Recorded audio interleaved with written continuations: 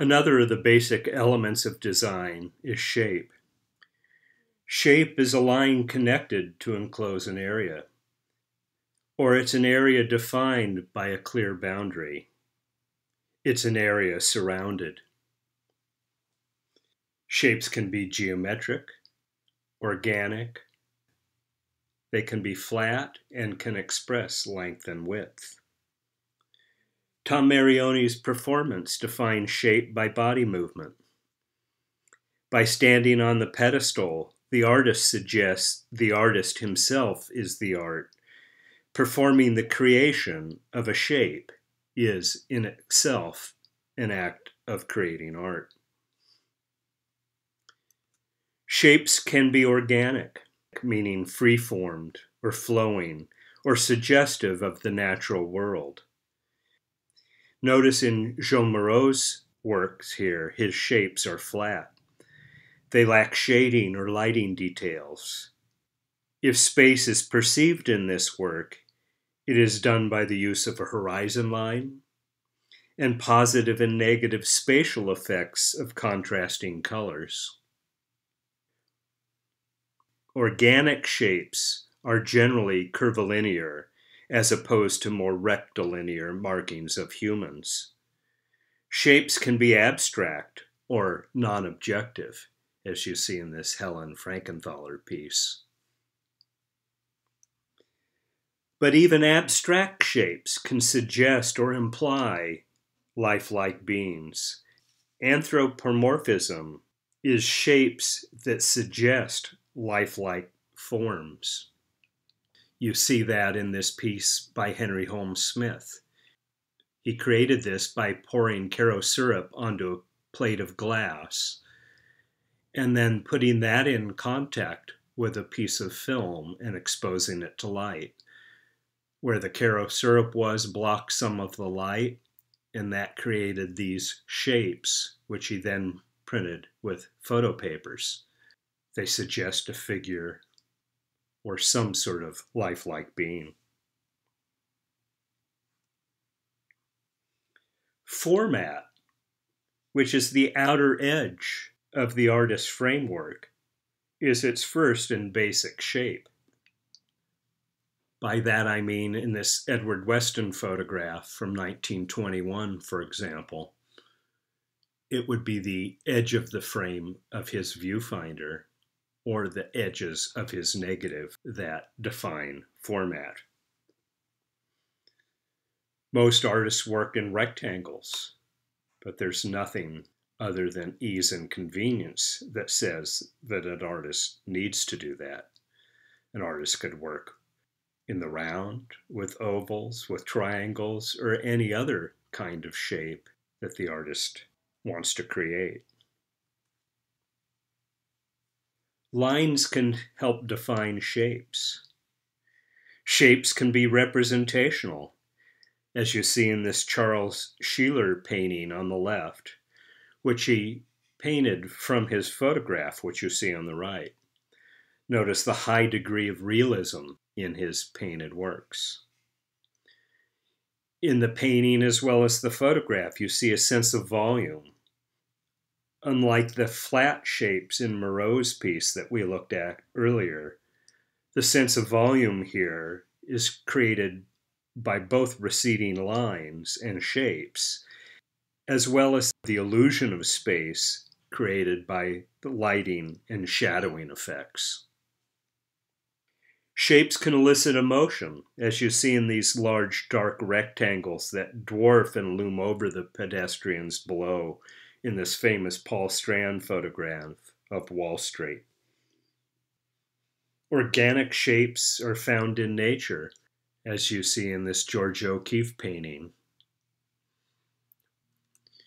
Geometric shapes generally represent humans. The use of organic or geometric shapes are generally quick and easy symbolism to represent either nature or people, or the intersection of both. Shapes can create figure ground relationships. The figure is generally the focal point of the image, and the ground, the background. In this Richard Misrach photograph, The Stonehenge rock is the figure, and the rest the ground. The figure is a positive shape or a positive space. It attracts our attention. It's protruding in importance as well as spatially. It seems to pop forward from the composition. The ground is negative space. It's not unimportant, but cedes in prominence to the figure or positive space. Negative space recedes spatially. Generally, in monochromatic images, monochrome meaning one color, like black and white, light things protrude and dark things recede. Generally, light things are positive space and dark things negative space. But reversing that figure ground or positive negative relationship is this collage by photographer Ray K. Metzker. The dark is the figure, the model that he photographed. The background, white, is the ground. Visually, the black wants to recede, but recognizing its detail, we know that that's not accurate. This image plays with the illusion of space, created by the shapes and their values. I would suggest, too, that new shapes are formed by the intersection of these white shapes between the dark shapes. And so it creates sort of an illusion in space, an optical illusion, if you will. Another example of that is in this Jim Nutt painting. The red shape in the center of this painting, formed by the face and the neck and the arm, but it creates a new shape. And that shape may be subservient to the main focal point, Miss P. Willow here. But indeed, this plays an important shape. And if you extend that interest out to the edges, you'll notice that he creates these almost triangular like shapes on each edge by using the format, the edge of the frame, and some other defining edge. So again is playing with positive and negative space. Sometimes this shape protrudes, other times it recedes. This James Turrell piece is a sculptural installation photographed. There are people towards the bottom of this image sitting in chairs. You might barely be able to see them right there.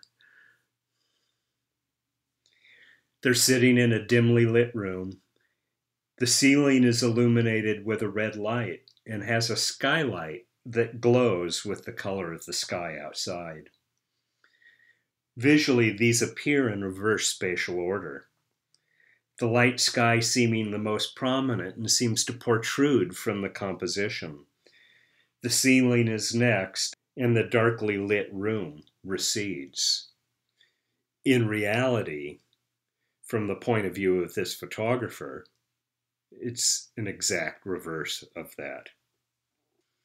So, using shape, value, color, and tone to create space.